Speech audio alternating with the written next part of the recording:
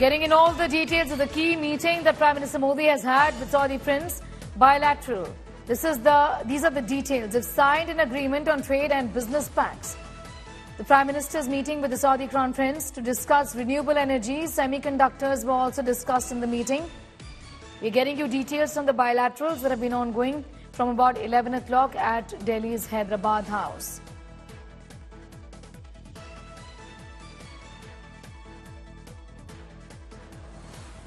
Saudi Crown Prince, in fact, was in Delhi for the G20 summit and he stayed back for the bilateral, which, like Geeta was telling us, was overdue. Geeta Mohan is now back with us for more details on that. Geeta, just take us through the highlights and the takeaways here. Well, uh, Prime Minister Narendra Modi clearly uh, spelling out the fact that this is a very important relationship, uh, important conversations on trade, defense, uh, security, and various other aspects between the two countries. Agriculture and energy paramount. On the energy front, uh, the fact that uh, India and Saudi Arabia are not just looking at uh, the current uh, the current engagement and arrangement that uh, they have, but also the transition to renewables. Uh, to, uh, to, to, to uh, ensure that fighting climate change and tackling climate change is something that they're on the forefront of. So a lot of important discussions that took place. This was a significant visit, a state visit that was much awaited, and uh, not a standalone visit, uh, one that is a, a, a continued uh, cooperation between the two countries, and the reason why uh, the Crown Prince ensured that the trip takes place along with G20, so he does not have to travel twice to New Delhi. A series of MOUs have been signed. Geeta, just tell us a little more about the highlights of that. Well, uh, the uh, the MOUs that uh, have been signed between India and Saudi Arabia have to do with the uh, with the uh, the, the uh, on the energy front and the agriculture mm. front. Details being outlined right now. we will be sharing more details on that front, but the key facts that are, have been signed are on the, the, the, sectors of energy and agriculture. Okay, I'm going to thank you. Geeta Mohan getting us up to speed with those developments as far as the bilateral between India and Saudi Arabia is concerned.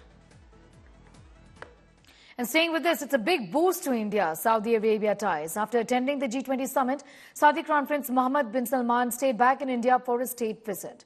Prime Minister Modi and the Saudi Crown Prince had held bilateral talks where the Prime Minister called Saudi Arabia India's one of the most important strategic partners and asserted that mutual cooperation is important between the two countries for peace and stability. Also, the Crown Prince hailed ties with India while announcing an MOU for economic corridor linking Saudi, India, Middle East and Europe.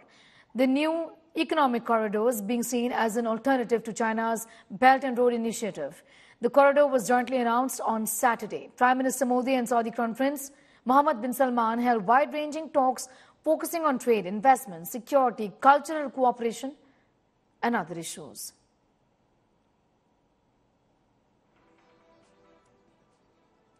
Your royal highness आपके नेतृत्व में और आपके vision 2030 के माध्यम से Saudi अरब जिस तेज़ी से आर्थिक और सामाजिक प्रगति कर रहा है उसके लिए मैं हृदय से आपका बहुत बहुत अभिनंदन करता हूँ। सऊदी अरब में रहने वाली भारतीयों के हितों की सुरक्षा और उनके कल्याण के लिए, आपकी प्रतिबद्धता के लिए हम आपके बहुत बहुत आभारी हैं। भारत और सऊदी अरब की मित्रता, क्षेत्रीय और वैश्विक स्थिरता, समृद्धि और मानव कल्याण के लिए महत्वपूर्ण है।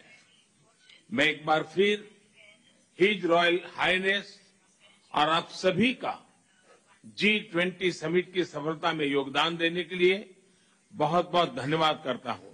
Beneficial relations for both countries. There was no disagreement at all during the history of this relationship, but uh, uh, there is cooperation to build the future of our country and create opportunities. Today we're wor working on uh, the future opportunities. There is a, a, huge agenda to be working with. Uh, we are working through this council uh, to achieve these uh, accomplishments, and these are promising.